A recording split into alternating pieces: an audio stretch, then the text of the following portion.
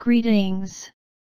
I am speaking here today on behalf of all of the cats who have been forced to share their houses with all of you pesky human beings. Please, I implore you, remember that you are guests in our households.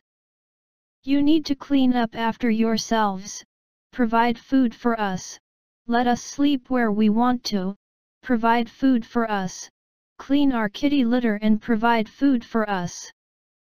These are simple requests for a simple species. You. Now, go and prepare some food for us. Now,